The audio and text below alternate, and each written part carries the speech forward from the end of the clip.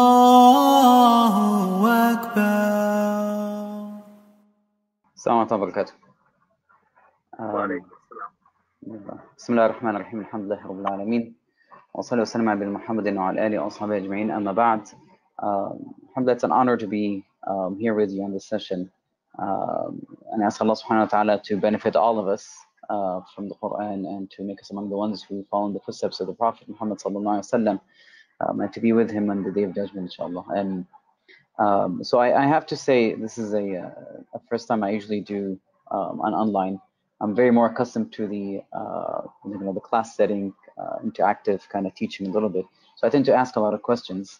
Um, so I, I'm gonna I'm trying to not to do that a little bit, um, so that you know hopefully it will go smoothly. But if I forget and I pose a question, and I might even do it actually, and, and you know be, please have uh, you know uh, like, you know feel free to comment um, if you want to answer the questions, just to make it a bit more interactive, if I can, inshallah. Um, so today, the inshallah, we're going to talk about Surah Al-Nahl. Um, and generally speaking, I'm going to do this in terms of a, of a thematic um, tafsir a little bit. So that inshallah, we can have at least from the part that we're talking about. Um, I'm going to give you inshallah the theme of general surah, but how this section that we're going to talk about inshallah um, fills in to that uh, main theme. Um, and so, uh, that being said, Surah Al-Nahl, uh, usually tend to speak sometimes about its name.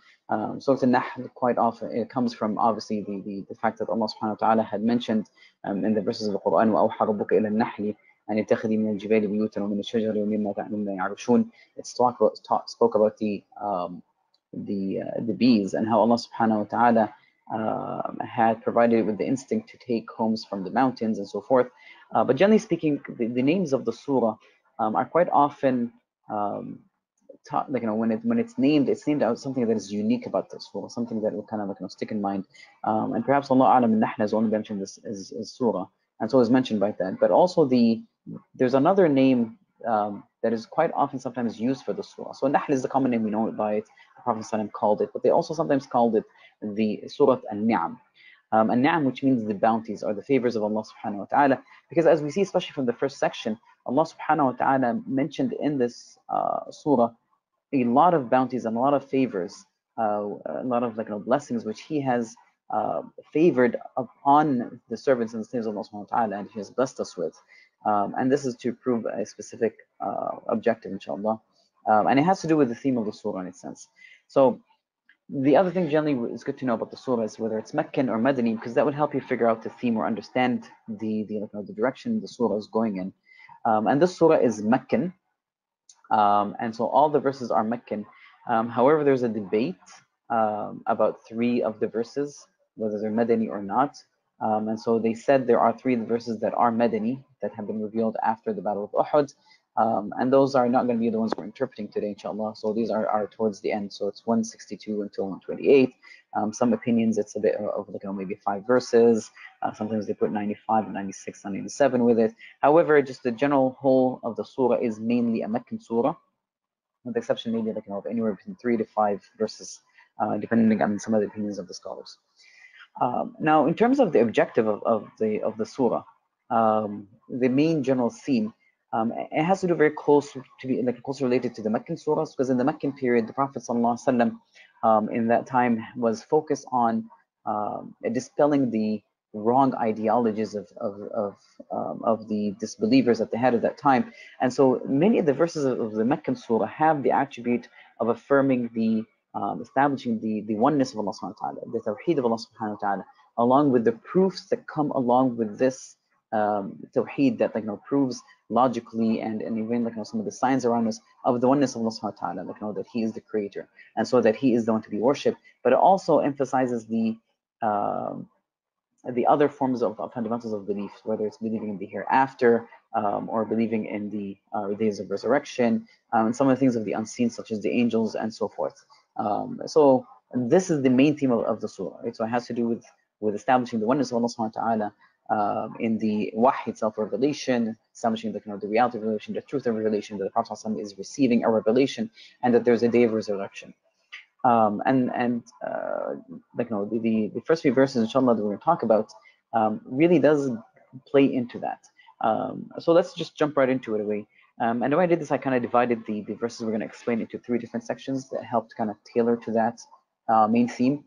Um, and the first one is, is just like, you know, just the first two verses where Allah subhanahu wa ta'ala, right away from the beginning, um, establishes his oneness. Uh, when he says subhanahu wa ta'ala, أتى أمر الله فلا تستعجلوه سبحانه وتعالى عما تشركون ينزل الملائكة بالروح من أمره على من يشاء من عباده أن أنذروا أنه لا إله إلا أنا فاتقون. So Allah subhanahu wa ta'ala from off the bat over here, he's, he's saying like, you know, that the, the command or the order of Allah subhanahu wa ta'ala has come or it's coming. Actually, I should say like, you know, I should use the present tense that it used. Uh, أتى أمر الله, which means it has come, right? Um, not that it's coming in the future, because really this is very important. I'm going to mention this why in a second. Uh, but Allah subhanahu wa ta'ala uses it in the past tense, not in the present or the future tense, but in the past tense, ata, which means it has come over here, right? Um, so the, the, the, command of Allah subhanahu wa ta'ala has come. So do not um, do not be impatient, do not be hasty. Subhanahu wa ta'ala amma yushrikun, um, exalted he and high above uh, what they associate from him. Um, then he says subhanahu wa ta'ala yunazzilu malaikatahu biruhi then he um, like you know he he sends down the angels with revelation with inspiration uh, min amrihi from his command right by his command upon whomever he wills. Um, to so that they would give warning and anziru uh, so that they would warn that there's no deity except me um, so fear me or have taqwa of me.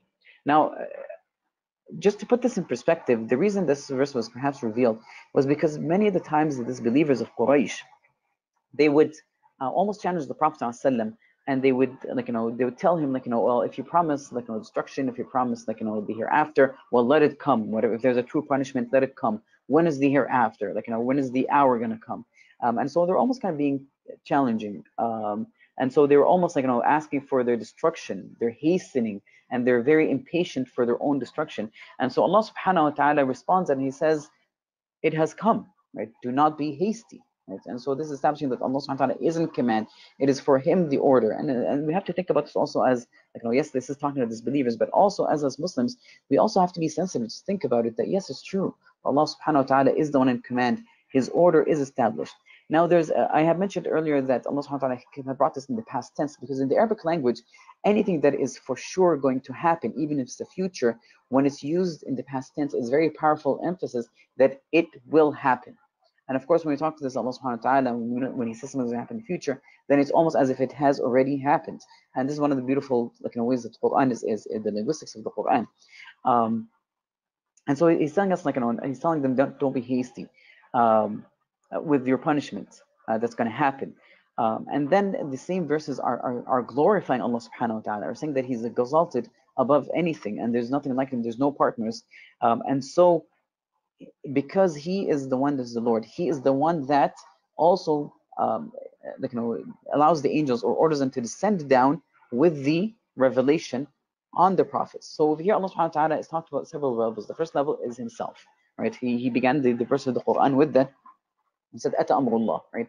And then he subhanahu wa ta'ala, he went to the next one, which is the angels. Right? And then what do the angels do? They bring down their relations to the prophets, and it's the job of the prophets to warn the people of what's going to happen if they disobey Allah ta'ala, but also give them glad tidings um, if they um, like you know, if they obey Allah subhanahu wa ta'ala. Um, and so th this is like you know this is just the introduction of Allah subhanahu wa ta'ala telling us like you know that um, this is the oneness of Allah He is all in command and there are the angels and the revelations, the job of the prophets. And then Allah subhanahu wa ta'ala in the next verses, and I'm going to take this from verse number three, I'm going to say it's from verse number three all the way until um, maybe perhaps uh, verse number 18. Okay. Um, so from verse number three to number 18, this entire section is dedicated to prove the oneness of Allah subhanahu wa ta'ala. Um, and provide the evidence for it. And in the Arabic language, they, they say this like, you know, Allah subhanahu wa ta'ala has done this by showing like, you know, like, you know, the, the evidences of uh, al-khalq, that he, like, you know, of the creation itself. But also not just in that, but also dalil al-ri'ayah. So the ri'ayah, which is the evidence that, like, you know, it's not just the creation that created, but there's also a level of perfection to that creation. And then the third level is that there is a level of, like, you know, Allah subhanahu wa ta'ala caring for the creation, providing for them, and so all these levels indicates that there is a, a something behind that, um, a, a, creator that has created all these things that also has the um, you know, knowledge and the ability and the power and the wisdom um, and there's care being given. And if there's care being given, then there must be something behind it providing it because this can never be happening in chance. And so Allah subhanahu wa ta'ala mentioned all these evidences. And He subhanahu wa ta'ala started with like you know mentioning things such as the um, the heavens, right? So خلق السماوات والأرض بالحق that he has created um, the heavens and the earth um, in truth, right? not in falsehood. So he said he's above what they associate with him. And so Allah subhanahu wa ta'ala mentions, like, you know, some of the greatest started with the greatest creation can never deny. Look at the heavens and look at this entire earth, which is a more difficult and a larger creation than the human beings. But Allah subhanahu wa ta'ala then mentions the human being due to their noble status and how He has created them in different stages, right? So starting from the uh, the nutfa, which is the like you know uh, from the like you know a drop of, of sperm and, and an egg together, um, and and Allah subhanahu wa ta'ala nurtures it and develops it until to the point that this individual, this human being, has the intellectual capacity to argue and debate. Um, so it's amazing how Allah subhanahu wa ta'ala is telling us, like, you know, He created them and He cared for them and cared for the humans being, provided for them, uh, nurtured them, uh, disciplined them, and they have the intelligence and how all these things until they become individuals who argue. And then Allah subhanahu wa ta'ala mentions the um, like you know the, the, the other forms of blessings upon us. Um, and, and you notice as Allah subhanahu wa ta'ala is mentioning all these things, he's saying that he has created for man, right? And so this is the ri'ayah aspect, the aspect that Allah subhanahu wa ta'ala has created these things for you. And there's a purpose for it because Allah subhanahu wa ta'ala created the heavens and the earth in truth. So what is the purpose of this? It's just a reminder that you have a creator. There's a purpose for why you created. And it's and I have to say also that these beautiful like, you know, verses as they come along, they really do establish a person, you know, a yaqeen, uh, like you know, the, the, the certainty of a person's belief. Because if you really ponder upon these evidence that Allah subhanahu wa ta'ala mentions, there is no way out of this except to believe um, that uh, he, he's the creator. Um, and those who deny it, right, subhanAllah, Allah subhanahu wa ta'ala mentions at the end of verse 22, we're going to mention this, is because one of the main reasons of it, perhaps it is arrogance. And we're going to touch on that a little bit. So Allah subhanahu wa ta'ala mentions like, you know, the an'am, an'am, which are the grazing stock, right, that He has created, and there's benefit in these for us. We use them for warmth and for other things. We eat from them, there's milk from them, we rind at some of them. Um, and then there's like you know the mules, the the camels, the um, the the uh, the horses. Uh, we ride on them, and there's also adornment and decorations for us because it's on nature. Subhanallah, Allah subhanahu wa ta'ala created in us the love um, and boasting perhaps of rides. Yes, today it's in, the form of cars, uh, but still in this in our instinct. And then Allah subhanahu wa ta'ala mentions He also creates what you do not know. Um, and this is a very you know powerful profound statement because Allah subhanahu wa ta'ala when, he's mentioning these things he's relating to individuals who lived at a time where the only things that they see Allah subhanahu wa ta'ala is relating to them like you know uh, uh, strive ask them to think about the things that they is around them to contemplate to ponder about it. And the things around them that they usually ride or the creation around them is things that they see such as the horses the mules. But then he also he said and he creates what you don't know to show us that there are other things that still these people haven't discovered. And maybe later on it'll be discovered other creations, other beings that perhaps we might use as mounts. And we know this today, whether it's the creations of, of the you know, creation of the of the planes or the cars. And so it's left that statement to tell us that there are things that we do not know we might discover later on, but even things are you know there are creatures that we still until this day might not know we might discover later on. And so Allah subhanahu wa ta'ala tells us that He has His creation is many, and there are things that we did not uh, that we do not know. And then Allah subhanahu wa ta'ala, when He um, uh, mentioned these things, like, you know, He also had mentioned, and He said, like, you know, in verse number side, وَعَلَى اللَّهِ قَصْدُ السَّبِيلُ مِنْهَا جَائِرٌ It's that uh, to Allah, if you want to reach to Allah, you have to um, seek that sirat, right, that path. And then also be careful of the things that would lead you astray. Because really there's only one path that would lead you to Allah subhanahu wa ta'ala, and that's the Sirat al-Mustaqim. That's through Islam. Allah subhanahu wa ta'ala has sent the revelation to the Prophet and the Prophets to tell us what this way is.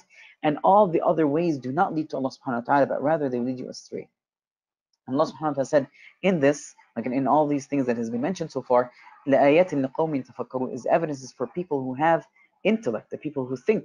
Um, and so this really pushes us that you know that uh, that this religion it, there's no such thing as as blind faith, but rather it, it is like you know deeply rooted in evidences. We just have to think about these evidences, ponder upon them, um, and that would help really reinforce our certainty, our yaqeen, and increase it. Um, and that Allah Subhanahu wa Taala had created things in a specific way in laws, um, and this is called the sunan, so that it is beneficial for us. But also, who created these sunans? Must have someone have created them. There's a specific way, a specific things, a mechanism things have to work by. And then Allah subhanahu wa ta'ala further goes on, even like you know, verses 12 and so forth, and he, he shows us the different layers of his bounties upon us. Right? And subhanAllah, you have to think like you know, all these bounties upon us, shouldn't we not thank the one who has created it? Can it come out of Allah chance? Allah subhanahu wa ta'ala has mentioned, He says, Look, all these things, they do not come by chance. And so Allah subhanahu wa ta'ala says, and He has created for you the day and the night, or the night and the day, and the and the sun and the uh, and the moon, and even the stars. And they also they travel by His order. In these verses, like you know, these signs, there are signs for people who have like you know brains, they think, which means that sometimes maybe, perhaps some of people's unguidance, they're not guided because they don't use their intellect, they don't think, they can ponder. And so they almost like, you know, uh, the, the, the, the, the beautiful bounty of the uh, intellect, the brains that Allah subhanahu wa ta'ala has given us, it's not being put to good use, but rather to other purposes, to other um, like, you know, things that they're being, uh, that, you know, that they use it for. Um, and then Allah subhanahu wa ta'ala like, you know, points another something else and what he has put in the earth for us, the different colors and shades like, you know, that come in it. Um, that he has even like, you know, um, subhanahu wa ta'ala subjected the, the oceans and the seas so that we would eat from its meat. These are different sources for us. And then we also bring out from them the um, decorations and adornments that we might wear. And then you see the oceans that Allah subhanahu wa ta'ala had given us the intellect, sorry, the boats and the large ships that Allah subhanahu wa ta'ala has given us the intellect um, to create that we ride on them. This is from the creation of Allah subhanahu wa ta'ala. Um, and so, like, you know, these are bounties that we need to thank Allah subhanahu wa ta'ala. And that Allah subhanahu wa ta'ala also, He says, like, you know, أَلْقَى فِي الْأَرْضِ رَوَاسِيَ أَن تَمِيدَ بِكُمْ وَأَنْهَارًا وَسُبُلًا um, And that He has, uh, subhanahu wa ta'ala, uh, he he um, he created the the the earth and the mountains, right? To firm to make me firm and establish them so that the the ground would not um, you know move from us. Um, so he has like subhanahu wa ta'ala, he has like made it firm and set it by mountains so that it would not shift from us. Uh, now we know these things are called the tectonic plates. And Allah subhanahu wa ta'ala, it's from his mercy, and these are considered some of the miracles of the Quran and scientific uh, proofs, um, that the mountains do really hold down the earth from, from shifting from underneath of us. Um, and so he said over here, and then rivers and roads so that you can um, like you know seek لعلكم تهتدون that you may be guided. And then Allah subhanahu wa ta'ala then continues um, once again to like you know mentioning like you know one favor after another, and he says um, in like you know jumping to verse 17 over here, and when it says like you know when you're looking at all these creations, he says a very interesting question. He poses a question. He says, أَفَمَنْ يَخْلُقْ كَمَنْ لَا يَخْلُقْ أَفَلَا تَذَكَّرُونَ He says like you know there's the one who creates is the one who like you know then he is he the one who creates like the one who does not create um, so will you not be reminded so this is compelling us to understand something or to look at something and this is really addressing the, the people of Quraysh who put deities and, and, and gods with Allah subhanahu wa ta'ala. He's asking them, look at everything around you, right? It has to have a reason, like it has to come, some, come from somewhere. Um, and this is called dalat sabab, which means the like you know contingency, the argument of contingency, that everything is dependent on Allah subhanahu wa ta'ala. This creation would not come except from Allah subhanahu wa ta'ala, and it has to be only one creator, right? Um, because he has to be like you know the, the, the, original source of all these things. And so Allah subhanahu wa ta'ala says, look at the ones who are worshipping, did they create something? Is the one who has created uh, more rightful to be worshipped or the ones that who have not created? Um, and so he's telling us to think. But also, like you know, uh, this this reminds me of another verse in the Quran that has to do with like you know how some of these like you know intellectual arguments, the logic that's being used, um, they also have to do with creation. How Allah Subhanahu wa Taala proves that He is the Creator by asking like you know questions to human beings, and He told them, um, um, were they created from nothing or did they create themselves? Because when you think about like you know us as being created, there's only three options. And Allah subhanahu wa ta'ala mentioned two, because the third one is the obvious one. So he said, he said, were they created from nothing? And we know that there's like you know there's no such thing as nothing, like you know, as something coming from nothing. It does not work. Um, it's logically impossible. Um, physically impossible, you want to think about it, whatever the case is. So Allah subhanahu wa ta'ala is challenging. He said, did they, were they created from like you know nothing? Um, or did they create themselves? which also is not possible. And so you're only left with the third thing is that there is something that has created them, and that thing is Allah subhanahu wa ta'ala, that being, the most powerful being, the knowledgeable, the wise is Allah subhanahu wa ta'ala. And Allah subhanahu wa ta'ala, after that verse, he also points out something else. After mentioning all these bounties, right, all these favors, he says something else. He says, see how we're counting up these things? But still, even if you try to count the blessings of Allah upon you, you will not count them. Inna Allah rahim.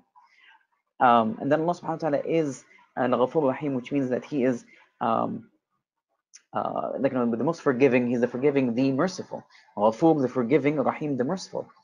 We have to ask ourselves, why did Allah subhanahu wa ta'ala mention like you know these two qualities or these attributes of Allah subhanahu wa ta'ala, Ghafur and Rahim, with we are unable to count the bounties of Allah subhanahu wa ta'ala.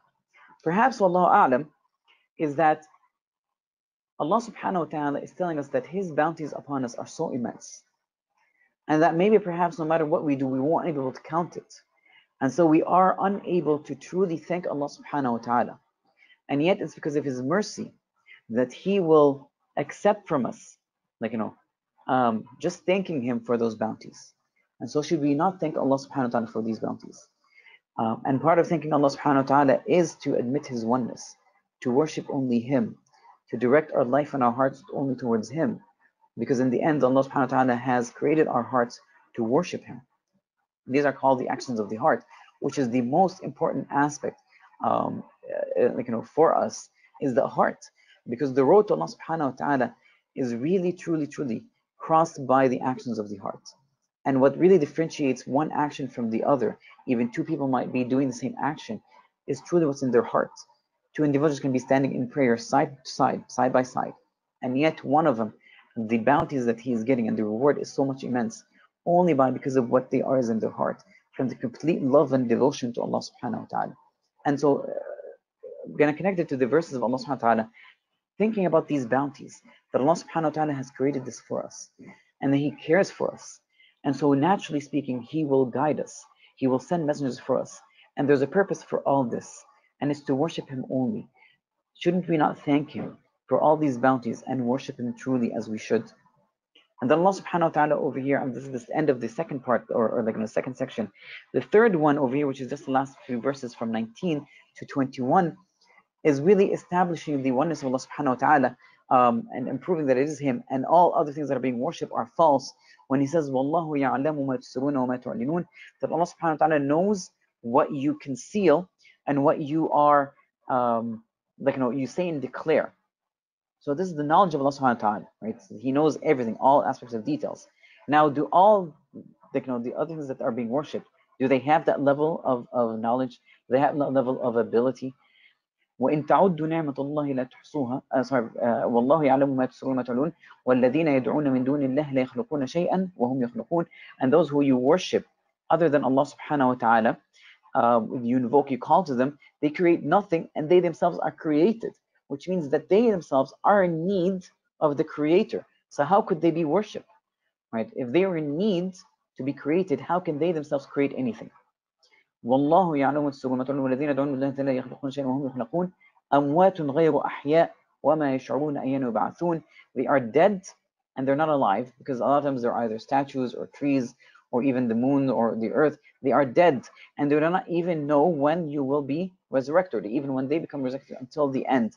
And then Allah subhanahu wa ta'ala, the last verse that we're talking about over here, last verse number 22, Allah subhanahu wa ta'ala gives us an insight of the evidence of why some people disbelieve. He says, Ilahu ilahu wahid. He affirms subhanahu wa ta'ala that indeed your God is one, your Lord, ilah. And by the way, ilah over here is, is a beautiful combination between, it means the one who is worshipped, but also the one who is loved, right? is truly one. فَالَّذِينَ يُؤْمِنُونَ بِالْآخِرَةِ قُلُوبُهُم مُنكِرَةٌ وَهُم مُسْتَكْبِرُونَ The ones who do not believe, right, بِالْآخِرَةِ in the hereafter, the issue is with the heart. Their heart is denying and they are um, mustakbirun, which means that they are arrogant. So Allah subhanahu wa ta'ala have mentioned two things over here. One problem that they have is their hearts, which means that we as Muslims should be careful. We need to watch our own hearts. Right? And the other problem is that their arrogance. That is a source that causes a person to disbelieve. And so we ourselves should be careful, like you know, of this arrogance. This is why arrogance is one of the major sins. It's something that is uh, detrimental, something that can eat up away at your conviction, uh, your conviction, eat away at your iman. And so we have to be careful with that. And just to prove to the point that that subhanAllah, it was the arrogance that drove many of the people in Quraysh from, from believing Allah subhanahu wa ta'ala. Uh, like you know, the simplest example is Abu Jahl, right? The people of Quraysh like you know, never doubted the honesty of the Prophet sallallahu alaihi wasallam.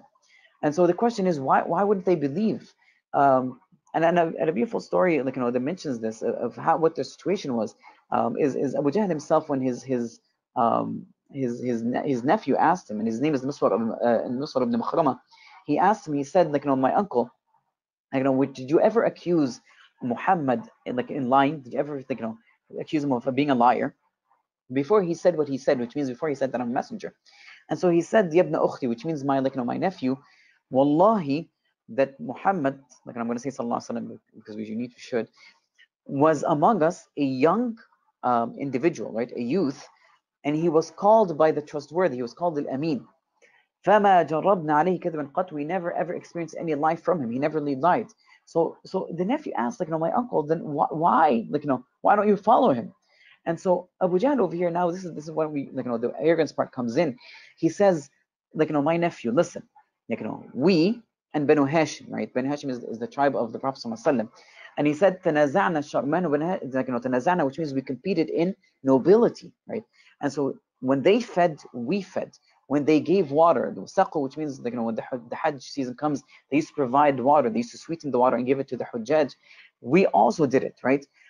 Wajaru ajarna, which means that they sheltered people, they gave them protection, so we gave them protection, also protection.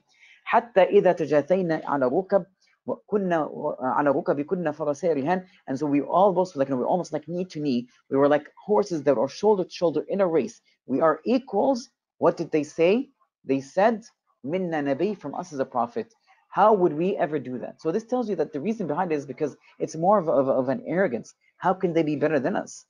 Um, like, you know, there, there's like, you know, even another hadith, Abu Jahl says like, you know, um, and this is after like, you know, uh, on the day of Badr, like Abu Jahl, like Abu Jahl was being asked, like you know, he said, "Tell me, like you know, about." Uh, one was asking, he said, "Tell me about Muhammad. Is he a liar? Is he truthful?" Right? Um, and he said, "Listen, there's nobody around us. Tell me the truth." Um, and so Abu Jahl said, like you know, "Woe to you! Wallahi, Muhammad, like you know, Muhammad is is is truthful, and he never lied, but." Uh, Banu Qusay, which is also the tribe of Prophet he said they went with the luwa, which is the, the, you know the flag of war, was siqaya, which is like you know the watering for the like you know the the the the, the people, and then a nubuwa, which is profited. And so he said, what is left for the people of Quraysh? So this tells you shows you clearly how Subhanallah sometimes arrogance um, can really be detrimental to one's faith and religion, um, and this is why Allah Subhanahu wa Taala had made it um, one of the major sins, and the Prophet had said, and he mentioned, they will not enter a person who has a speck of, of, of dust of arrogance in his heart. So I ask Allah subhanahu wa ta'ala to make us among the ones who um, ponder upon the bounties and name of Allah subhanahu wa ta'ala and try to comprehend them and, and, absorb them so that we would truly be able to thank Allah subhanahu wa ta'ala uh, for his bounties upon us. Uh, we were all, we're always going to be in need of Allah subhanahu wa ta'ala and he is not in need of us uh, for he is the Samad and I ask Allah subhanahu wa ta'ala to move any any traces of, of arrogance um, or anything that would uh, lower our iman and belief in Allah subhanahu wa ta'ala. And I ask Allah subhanahu wa ta'ala to make us among the ones who benefit from the Quran and to make us among the ones who with the Prophet sallallahu alaihi wasallam in the day of judgment. Um, and I think I only have a minute left, so um, I'm going to stop here. Um, and if there's any questions, uh, I think uh, it will be moderated. Uh, so go ahead and fire away if you um, have any questions, inshallah. And um, hopefully, inshallah, it's within topic. I'll try to answer as best as I can.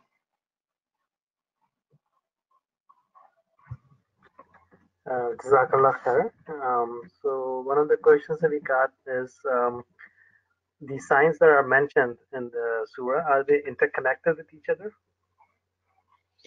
The signs are they interconnected together? So some of them, uh, uh some of them are connected.